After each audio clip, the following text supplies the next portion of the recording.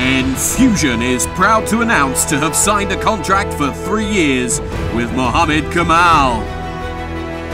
Enfusion will also cooperate with real fighters for Orinta van der Zee, Khalid Chabrani, and Loren Javier, who also can be seen at the upcoming Enfusion events. Mohamed Khamal will make his Enfusion debut on March the 18th, 2017 in Nijmegen, the Netherlands.